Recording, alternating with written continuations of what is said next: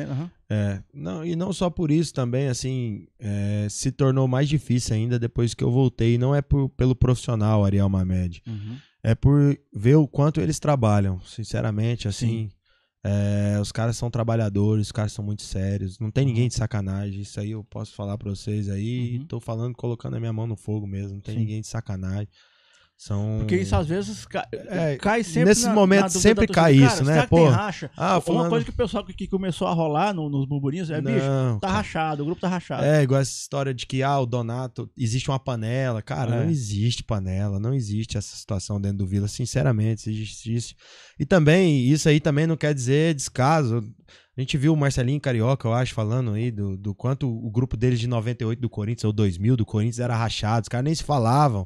Chegava Aham. dentro de campo, ganhava o jogo e acabou. Então, nem isso é uma regra no futebol. Ah, não, É. se o grupo tá rachado, não dá certo. Ah, se o grupo. Não é, isso também não é uma regra. Então, assim, a gente, dentro desse grupo, não existe esse tipo de problema de relacionamento, de panela, um que quer mandar mais que o outro, que é o que o pessoal do- fala do Donato. Não é, o Donato é um cara muito humilde no dia a dia, muito humilde Uhum. para assumir as coisas e etc. O Pablo é um jogador que tá se dedicando, que vem. As coisas não acontecem por acaso. É, Uhum. ninguém carrega ninguém sozinho. É, o, o que tá estourando no Donato vem da frente e o que tá faltando pro Pablo Diego também vem de trás. Então a gente tem que entendi. entender esse processo todo e também não buscar, sabe, crucificar ninguém. É, É. O momento agora é de agregar.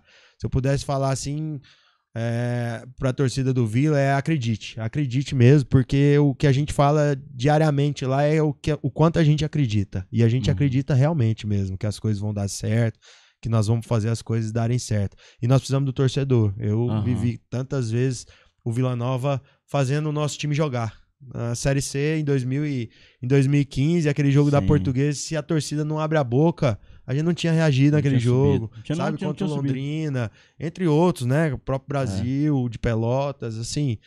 Quantas vezes a gente vê esse tipo de situação contra o Fluminense, nós afogamos o Fluminense aqui, aqui em em pleno Serra Dourada, é, muito pelo ímpeto da torcida e, e Uhum. etc. Aquilo lá faz a diferença. Sim. E é isso que nós precisamos nesse momento. Nós precisamos dessa diferença da torcida, porque realmente ela existe.